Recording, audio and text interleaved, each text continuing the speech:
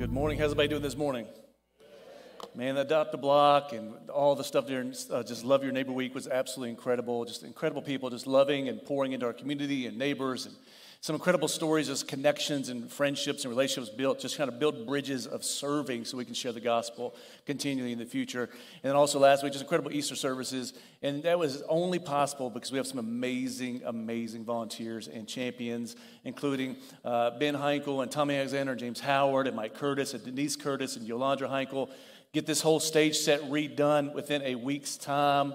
And so give them a big round of applause real quick and then tons of other people serving and greeters and ushers and parking lot and, and, chapel kids and six, seven, eight youth and just across the board. It only happens because people love their church and want to see the gospel presented in incredible way. So I want to say thank you from the bottom of my heart. Uh, also, next Sunday we have water baptism. We'll talk about in just in a second. But next Sunday night from 4 to 6 p.m. is our baptism after party. It's an all church event for everybody.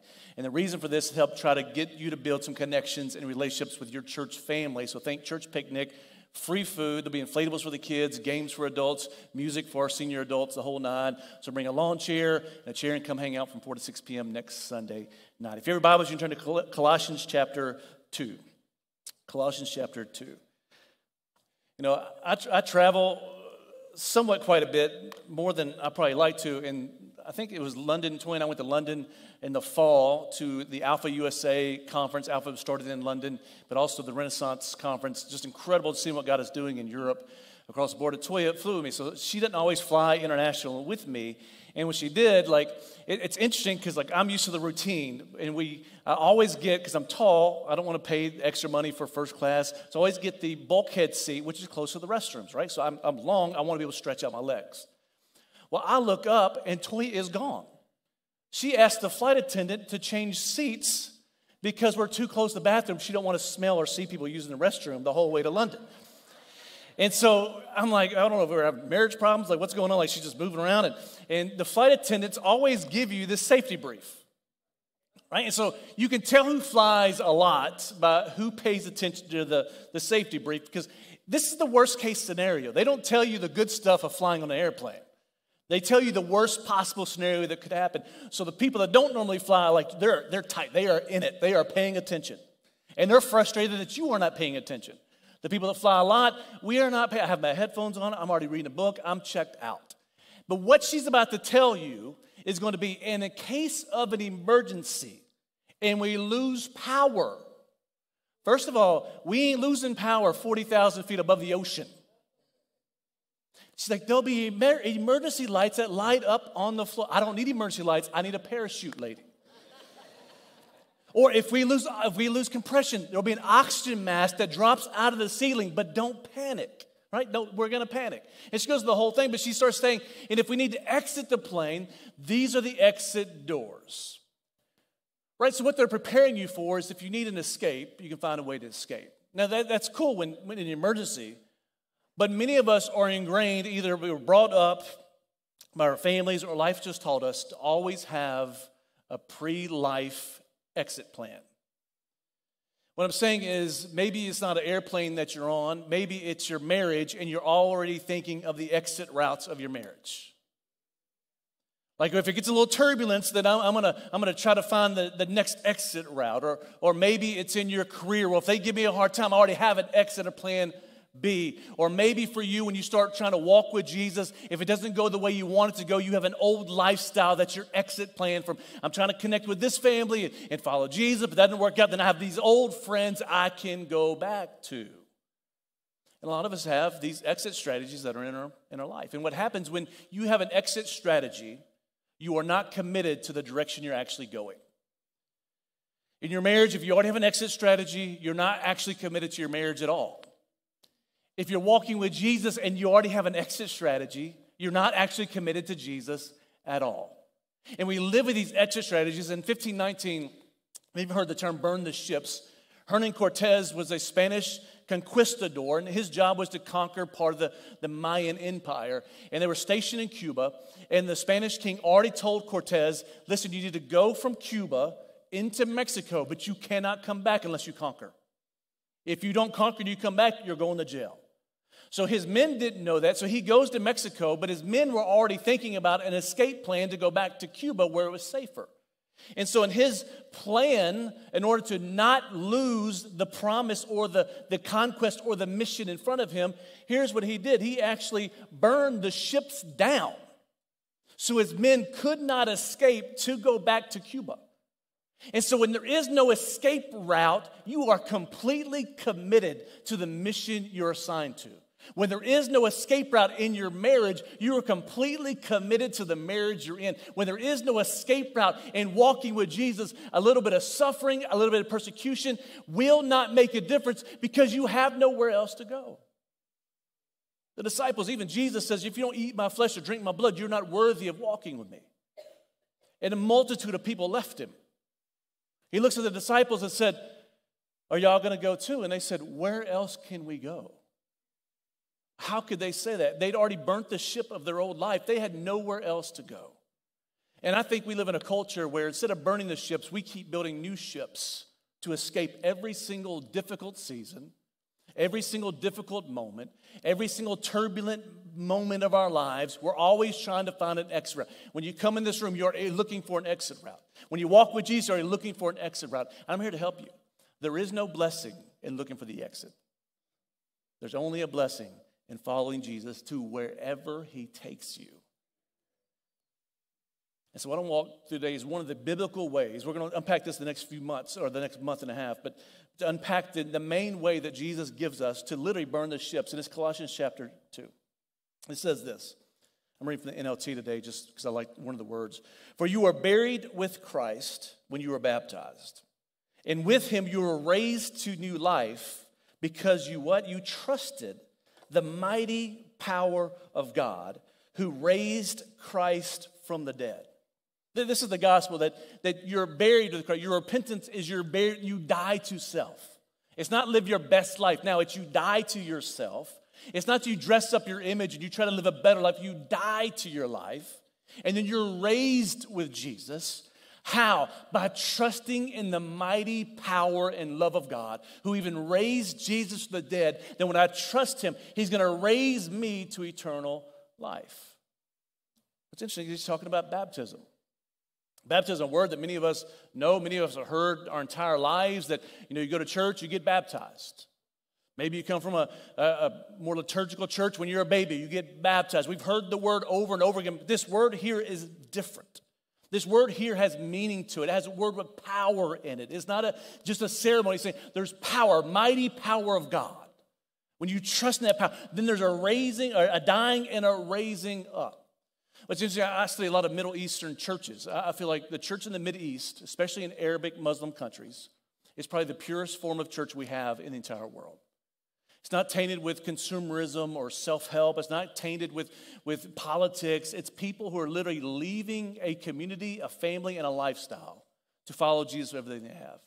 And what's interesting about it is they don't persecute Muslims in the Middle East for reading the Bible. They don't even persecute them for hanging out with other Christians.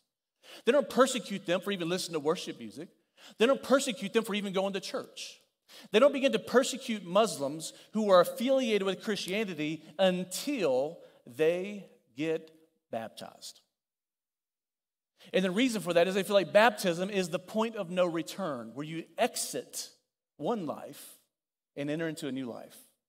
They believe it's the entrance point into the kingdom of God, that you're leaving Islam altogether and walking into something new. It is the point of no return. And the, the reason I find that peculiar is because in Christianity in America, we don't see baptism as a point of no return. We see it as a ceremony to appease our mom or dad or our grandparents.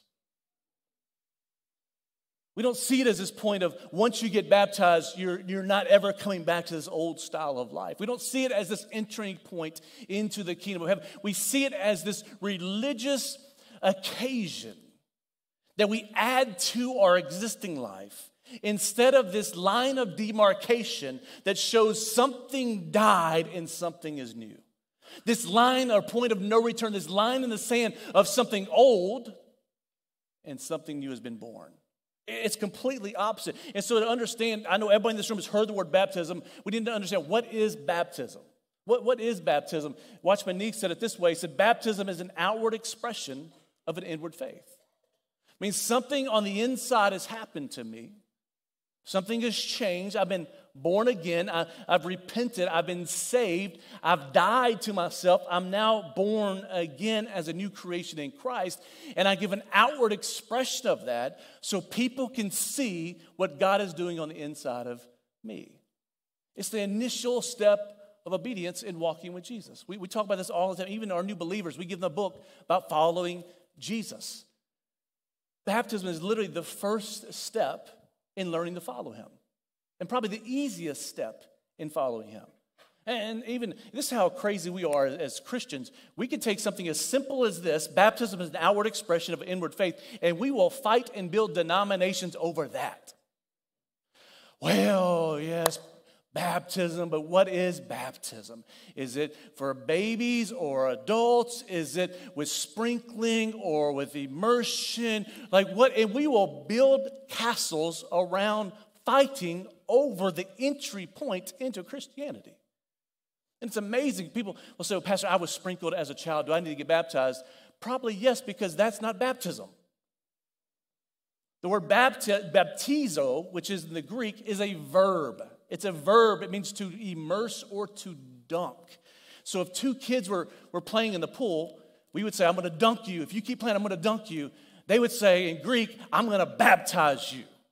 Could you imagine your kids, you outside, and they're fighting and they're baptizing each other? Praise God. Finally, some good fighting. Right? If they were taking a, a garment to make a white garment to dye it red, you would baptize the garment in red dye. It's a word immersion. And the reason that's important is baptism is reflection of you going into the grave and coming back out of the grave. Same thing with the word die. If you're dying, you're going into the grave, one color, you're stained with dirt and sin and grime and shame, but you're coming out white as snow. You're going in dirty and filthy, but you're coming out washed and clean. You don't get that from a little bit of sprinkling. You don't have the feeling of going under and holding your breath and coming out and expressing this amazing deep breath of fresh air as a new believer in Christ. And what happens is when you change the, the method of baptism, you actually change the meaning of baptism. So if you, if you take it and you make it sprinkling, what happens is you've changed the meaning. Now you've put the power onto the person sprinkling you with water or the water itself. You realize, you realize when people sprinkle with water, they don't just use any water, it's holy water. So they're trying to make the water to be the magic instead of the repentance being the magic. And so to change the method actually changed the meaning of baptism. You say, well, Pastor, you know, do you have to be baptized to be saved? And the answer is no, but maybe. Why would you say that in 1 Peter 3 says this, the Church of Christ loved the scripture. Baptism, which corresponds to this, now saves you not as a removal of dirt from the body, but as an appeal to God for a good conscience or a clean conscience through the resurrection of Jesus Christ. It actually says baptism, which corresponds to this, now saves you. But in the Greek, it actually translates is now saving you in the current present tense. And what's interesting with this is, is there's two ways of kind of looking at this.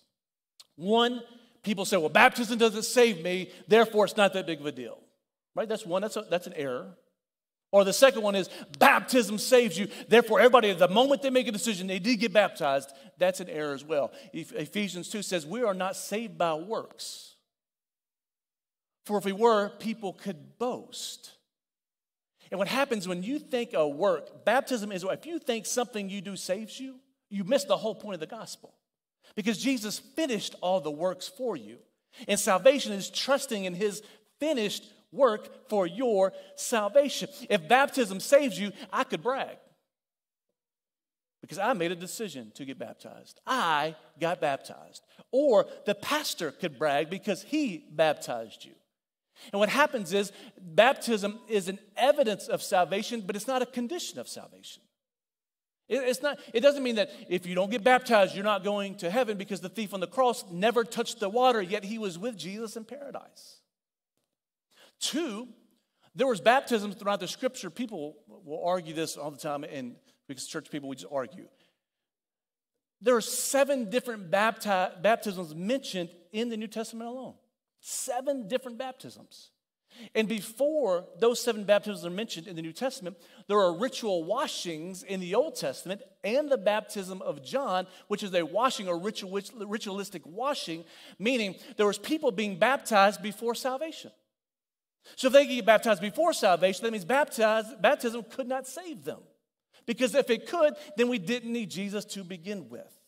And so I'm here to tell you that is baptism a big deal? Yes. Is it your salvation? No. But if you're not willing to get baptized, one little small step that everybody in the church will celebrate, that your mama, your daddy, your grandmama, your grandfather, even your enemies will celebrate you getting baptized. If you're not willing to take that one little step of obedience, can he really trust you to obey him in anything? In anything? Probably not. And so here, here's what I want to help you learn today. I want you to understand the power that's in baptism that cuts the ties from your past so you can walk in your future, that burns the ships of your former life so you can walk in the promises of God in your new life. And there, there's four, I believe, power we see in the New Testament. And the first one is this the power of appeal. The power of appeal, meaning when you get baptized, there's an appeal. You're publicly declaring your repentance. When people come to the water and they get baptized, they are publicly saying, I repent of my sin, my shame, my guilt, my past life, my fear. I public, I'm letting everybody know I repent. And it's also an appeal to God for what? A clear conscience. Notice it doesn't say an appeal to my mama and daddy for a good conscience. And if we were honest, I've done baptisms enough over the last 15 years, almost 20 years now, that when I see people get baptized, a majority of them are not making an appeal to God, they're making an appeal to themselves. They want to feel better about their guilt, their self guilt. They want to appease mama and daddy because they got caught with a DUI and they're trying to help get mama and daddy help them with bond money. And so they're appealing to man mama, daddy, or my wife because she's mad at me right now. So if I get baptized, she'll think I'm doing a little bit better. I'm appealing to her for a good conscience and a fresh start. Listen, those people cannot help you. Your sin is eternal, it's internal. You need to appeal to God for a clear conscience. And your baptism is nothing more than publicly publicly declaring that God, I need you to forgive me because you're the only one that can clear my conscience. You are the only one that can clean my slate. You're the only one, even on the day of Pentecost when Peter was preaching. Instead, he said to them, Repent and be baptized. You cannot separate baptism from repentance. Which means when you get baptized, which is the initial step of obedience, there should be a radical change in your life. If I'm truly repenting, there should be a difference between before I went in the water and when I came out of the water. If there's not a change in your lifestyle, you didn't actually repent. Repentance is metanoia in the Greek, which means a change of mindset. Meaning, I'm changing the way I see my sin from fun to filthy. I'm changing the way I see sin from shameful, shameful sin to now I can walk in the cleanliness and purity and the righteousness of God. Something dramatically should happen if you repent. If there wasn't a radical change, when you got baptized. You didn't publicly appeal, you didn't publicly repent. All you did was get wet in, a whole, in front of a whole bunch of people. There's nothing magical about the water. You could say, well, it's holy water. No, it comes from the hose pipe in our janitor's closet. yeah, Pastor, I got baptized in the Catholic Church. Let me help you. There ain't much that's holy in the Catholic Church. The only, all the difference between holy water and regular water is somebody they make as a high church official, a priest, a father, a, a reverend, somebody prayed over the water. Let me help you. It's still water. It's not magical. The power is not in the water, the power is in repentance. In a day and age where we, don't, we tell people, you're, you're just good the way you are. No, you're not. Do you realize the message Jesus preached was repent for the kingdom of heaven is near. The message Peter preaches is repent. and be baptized. Why? Because the promise is here. And so that's not a that's not a judgmental message. That's a message of I don't want you to miss out what God wants to do for you. And I want you to change the way you see life so you can have eternal, abundant life in Him. There's a power in the appeal, there's also power in obedience. Obedience. It's the first step of obedience. Uh, baptism is the first step of many in following in the footsteps of Jesus. You did not get saved just to say you're saved. Getting saved is not a ticket that you get out of hell and you get into heaven. How do you get to heaven? By trusting in Jesus and following Jesus, who said, I am the way, the truth, and the life. How do I find my way to heaven? By walking with Jesus from here all the way to heaven. He's the only one that knows the way. He's the only one that knows where. I ask you, do you know where heaven's at? Do you have the address? Can you tell? Well, I think it's up in the sky. I doubt it's up in the sky. We'll find out tomorrow when the eclipse happens. We'll be able to see really well. where, is, where is heaven? Nobody knows. Even Jesus telling the disciples says, I go to prepare a place for you. Like, where is it? He says, I can't show you. I can only lead you there, and I'm preparing a place for you when you get there. See, it's, it's obedience. There's something about the first step that determines the rest of the trajectory.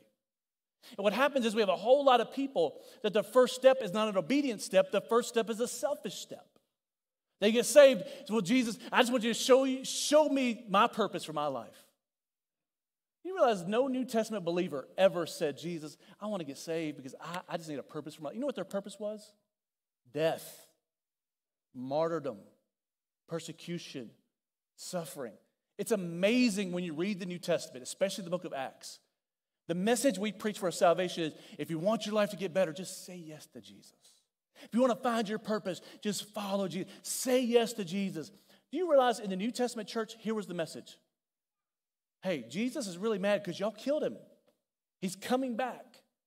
And when he comes back, he's not going to come like he did the first time. He's coming as a warrior on a white horse to set up his kingdom on earth, and his enemies will be scattered and sent away. But any of you who want to be part of that kingdom to come, I'm giving you a chance now to repent of this kingdom and come underneath my rule and my authority and reign with me when that day comes. But in the meantime, you're probably going to lose your family, your job, maybe your life. You're going to be persecuted. You're going to suffer, all these things. And they still said yes. Why? Because this is the step of obedience. When I get saved, I'm not just saying yes to the first step, I'm saying yes to every single step he places in my way. Matthew 28, 18, 19, 20, which we use as the Great Commission, he said, This is the commandment. Therefore, go and make disciples of all nations, baptizing them in the name of the Father and the Son and the Holy Spirit, and teaching them to what? Obey. It doesn't say teaching them doctrine, teaching them politics. It says teaching them to obey what? All that Jesus commanded them. Baptism is this step of obedience. And when you step into obedience, it changes the game. It changes everything. See, because disobedience, disobedience unlocks the door for the enemy. I don't know, I don't know if y'all know this or not, this, this is a key principle that I, I've lived my life by. Disobedience unlocks a door that allows Satan to enter and influence your life and environment.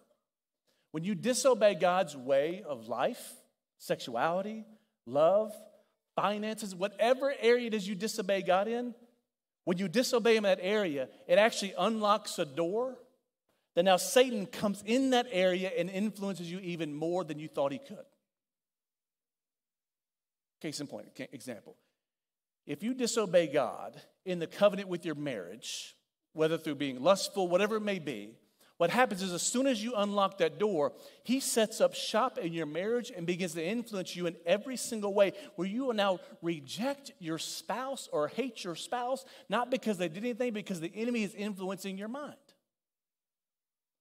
But the opposite, obedience locks the door to the enemy and empowers the Holy Spirit to influence you and your environment. Like there's power in obedience. And we, we, we look at obedience as bad word. No, obedience is a blessing word. We tell our kids, like, my love is unconditional. My, for my kids, my love, no matter what they do, unless they went to Auburn. Like, oh, like I love my kids. There's nothing they can do to change my love for them. but my blessings are contingent upon their obedience. With God, His love is unconditional. He loves you regardless of what you've done, what you could do, what sin you've been in, how bad you've been, how good. He loves you unconditionally. He loves everybody unconditionally, sinner and saint. But His blessings flow through obedience. You even see with Jesus, Jesus goes into the wilderness. He's tempted for 40 days and 40 nights while he's fasting. And enemy, enemy tempts him in three specific areas. As he tempts in those three areas, what he's actually trying to get Jesus to do is to be his own king and his own ruler and not submit to the Father. For 40 days and 40 nights, he gets him. You know, if, if, if you're really, really king, you can have all of this. If you just submit to me, you can have all these kingdoms. If you throw yourself off this pinnacle, then the angels will say, and he keeps tempting him at what? To pick up his own authority and rule over his own life. He rejects it, he resists the enemy, he comes right out of the 40 days of temptation, right to John and says, Now's time to be baptized. Why is that important? Because it was his first step of obedience. Another way to say that is this all of us have some flag or banner flying over our lives. While Jesus was in the wilderness, it was a battle for obedience and surrender. The enemy was actually tempting him to pick up the same exact things the Father already promised Jesus. The only difference was the enemy was tempting him to raise up his own banner to rule and reign over himself. Some of us have a banner of selfishness. Some of us have a banner of sexuality. Some of us have a banner of anger. Some of us have a banner of sin. Some of us have a banner of our purpose. Some of us have a banner of our careers. Some of us have a banner of our family. We have something that raises over us, that leads us, and we follow that banner wherever it may lead us. Jesus comes out of the wilderness refusing to pick up his own banner. And when he gets baptized, every single when we get baptized, it's like we bring up the banner that Jesus is now king of my life. I'm obeying him and I've surrendered to his rule and reign as king over my life. So this is the first step of many steps of walking, carrying the flag that Jesus is my king. And the problem with our culture is we want to carry multiple flags. We want to carry up an American flag, pride flag, a roll tide flag. There's only one flag on the flagpole of your heart. And that flagpole determines how you live, what you do, how you behave, how you think, and what you're surrendered to. And obedience is the key to locking or unlocking everything else. Number three is the power of identity. Power of identity. When you get baptized, you're literally reminding yourself that you're not who you used to be. When you get baptized, you're reminding yourself that you are a new creation in Jesus Christ. Not just when you get baptized, but when you watch baptisms next Sunday and you see other people, you're reminding yourself that you are a new image in Christ. You are a new creation in Christ. You are not the old you, you are new. 2 Corinthians 15 says this way or 5. Therefore, if anyone is in Christ, he is a new creation. The old has passed away. Behold, the new has come. When you get baptized, the water washes over you and you come out, you're fresh, you're clean. In the words of the prophet OutKast, you're fresh and clean. And most of us need to be reminded of that more often than we think. Because you have an enemy who tells you you're not that person, you're actually who you used to be. And baptism is this line in the sand where you preach the gospel to yourself in a tangible way. It's a line of demarcation that when you get baptized, you can tell the enemy, I am not who you're telling me I am, because that person is still in the water. When you get baptized, some things should stay in the water and not come back out, which means your old identity should stay in the water. Like for me, some of y'all know my story, some don't. My, my, my nickname, I, I talked to a buddy of mine two weeks ago, my nickname was BG, which stood for Bobby Gourley and also Baby Gangster. Take that what you want. like, I did bad stuff. I didn't just live a party life, I did bad stuff. And I was known for what I'd done that was bad. And my nickname went along with that. When I got saved and baptized, that nickname didn't come back out of the water with me. That nickname doesn't go with me anymore. That identity doesn't go with me anymore. And when you get baptized, there should be a change of identity that you are not who you were grown up to be, you are who Jesus died to make you to be. And baptism tells that story over and over and over again and reminds you of that fact. It's not, it's not a faith thing, it's a fact thing. Do you realize that almost every single person in the Old Testament and a majority of the New Testament, when they encountered Jesus and they were born again, their name actually changed? Why? Because their identity was different. They're not known by what they did, they're known for who they are and what they're going to be. And for you, the same way when you get baptized, it changes who you are. You need to remind yourself of that in many ways. And by identifying with Jesus and his death, now I get to identify with him in his new life. The problem with it is, you don't get to identify with his resurrection if you don't identify with his death. And I would say, especially coming out of Easter, a majority of us have too much association with the resurrection of Jesus and not enough identification with the death of Jesus. So, what are you saying, Pastor? I'm saying we all want the promise on the other side of the cross, but none of us want the cross. The cross is, Watchman Nee said, the, the cross is where the sinner dies. That the blood deals with the sin, but the cross deals with the sinner. And when the sinner dies, the only thing that comes out of the water, that comes out of the new birth, is the saint.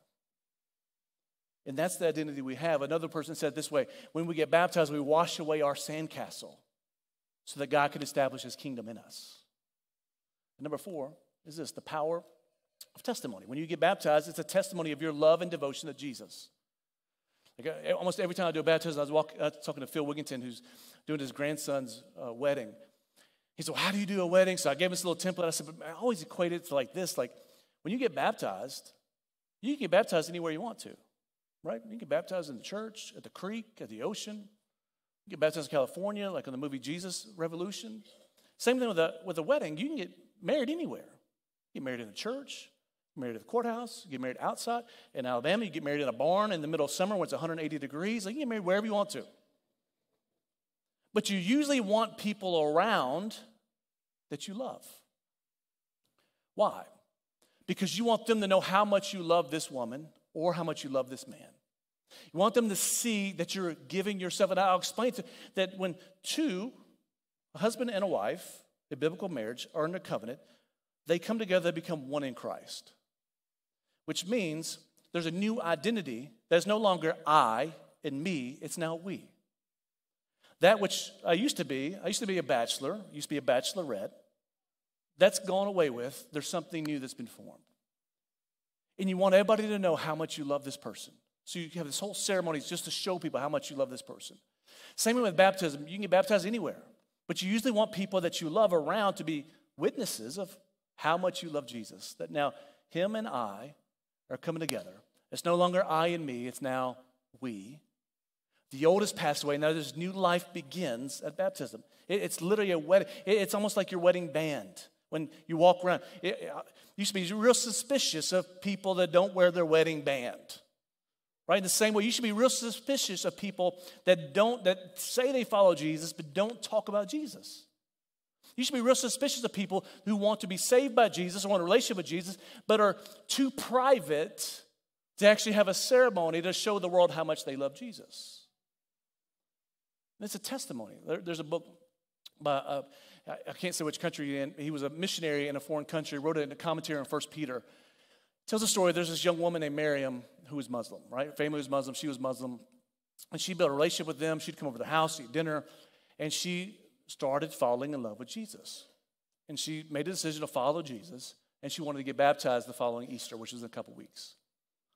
Really, obviously, with Islam, that's the entry point into Christianity. They were scared to death. And they didn't want to just baptize her with her mom. She was a minor, she's 14 years old. And so they brought the mom over for dinner, and they had dinner, and it was great. They knew the mom and had dinner, and, and they said, hey, like they slid this piece of paper across the table. And it was basically a permission slip to baptize her daughter, Miriam. And she looked at it, and without even thinking, she signs it and slides it back over. They don't think much of it. Easter's coming up in a couple weeks. she shows up to witness her daughter's baptism into Christianity. And as she was witnessing it, she went home after she signed that piece of paper and read through the Gospel of John. And her mom got baptized the same Sunday as Miriam did. Why? There's power in a testimony. Revelation 19, we know that we overcome by the blood of the Lamb and the word of our testimony.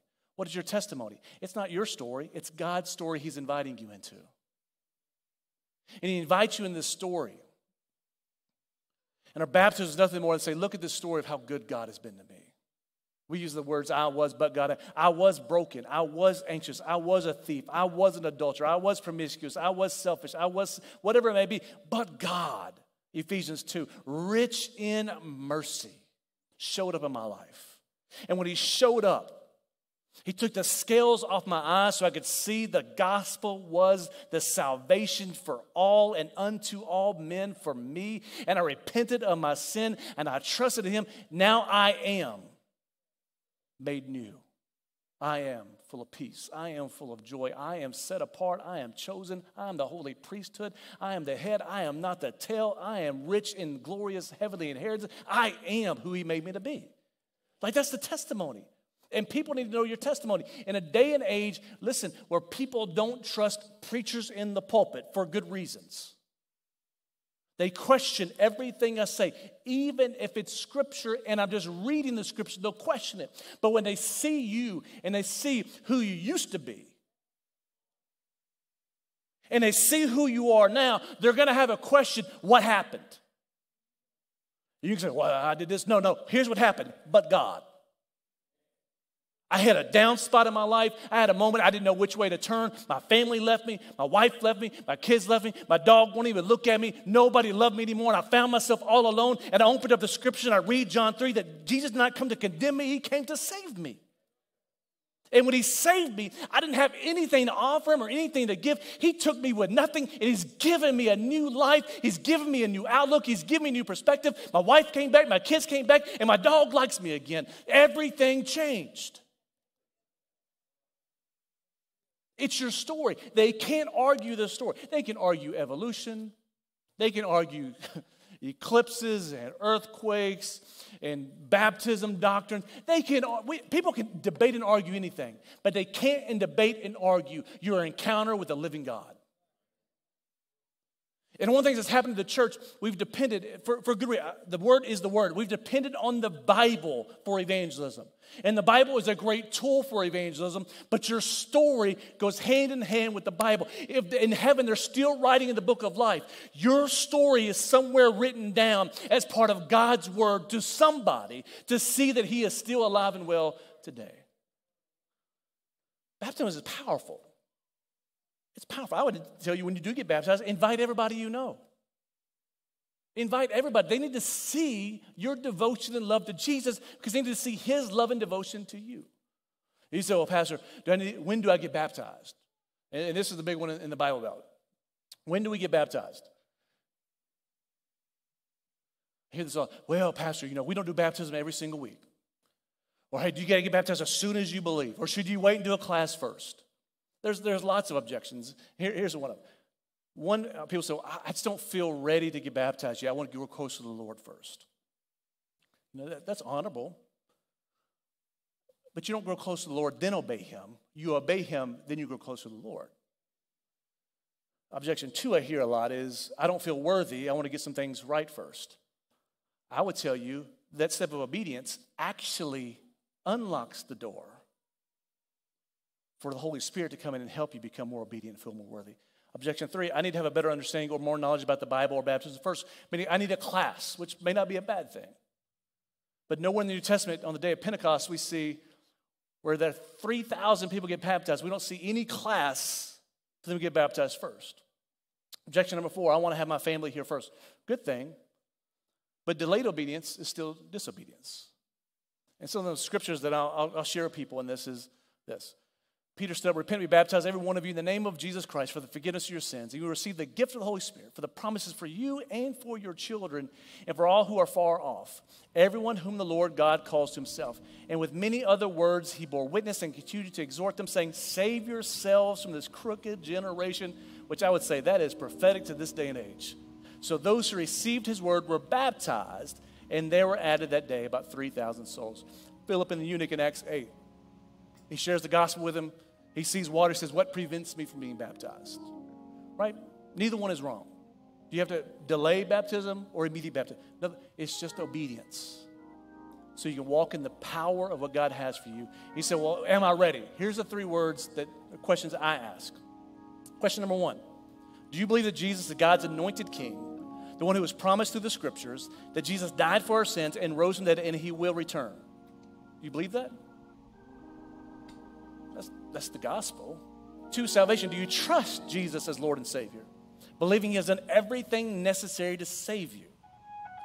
But three, there's a lordship question because He's not just Savior, He's also Lord. And are you committed to following Jesus no matter the cost without conditions or excuses for the rest of your entire life? If you answer yes to all three of those, you are a great candidate for baptism.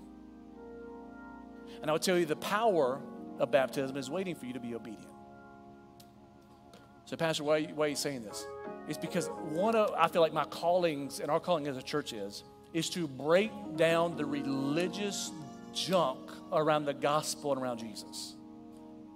And one of the biggest obstacles or junk around the gospel is the doctrine of baptism. So many arguments over it, so many, well, you know, this, this.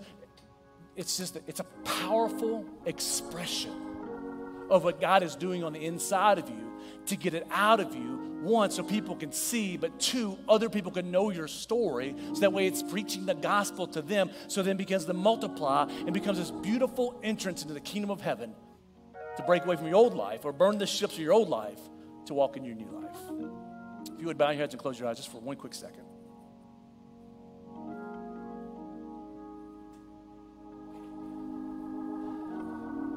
First, before I even ask a question, next week is baptism.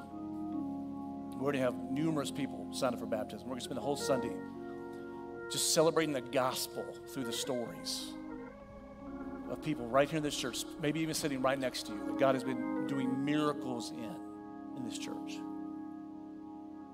But some of you, maybe you need to actually take that step of obedience. Say, Pastor, I was baptized as a kid.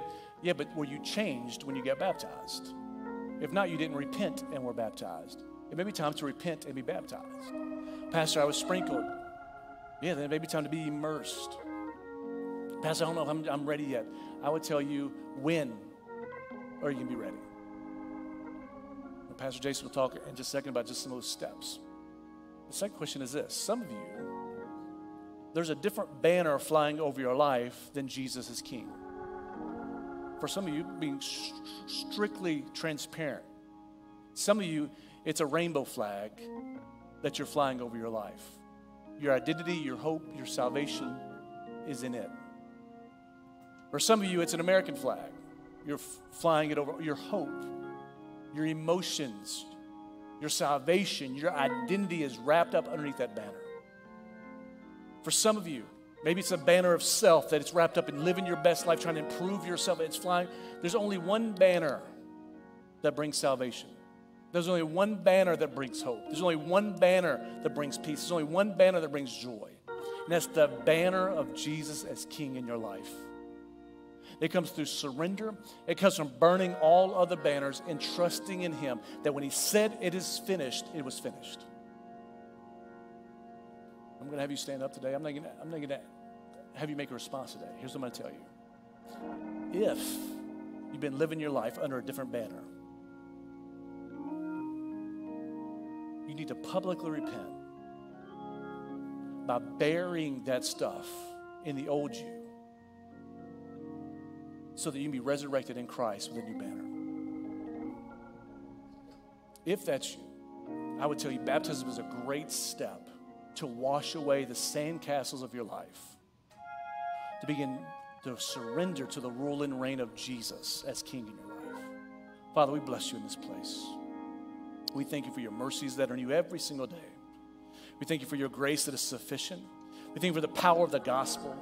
That in the midst of our weaknesses and our failures and our rebellion, you still are the saving King who redeem us from every single evil work we've committed against you that you save us by the blood of your Son, Jesus, by the finished work of the cross, by the power of the resurrection. And so, Father, right now we trust in you, we surrender to you, we ask that you have your kingdom come in us as it is in heaven, in the mighty name of Jesus. And all God's people said,